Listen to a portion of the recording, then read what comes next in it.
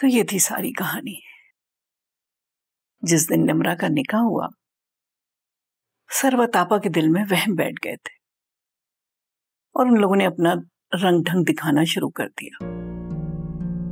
सर्वतापा ने निमरा को कराची हमारे घर सिर्फ़ इसीलिए भेज दिया था कि उसको कामिल से दूर रखना चाहती थी।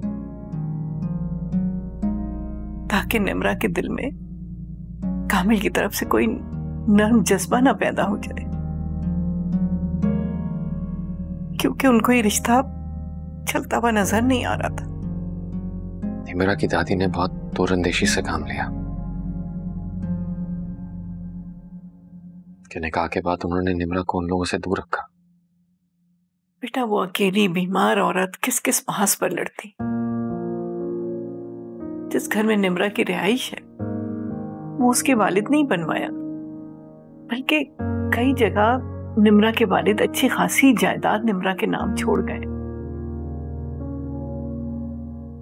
बस अब उसके रिश्तेदार ही उसकी जायदाद पर नज़रें लगाए बैठे।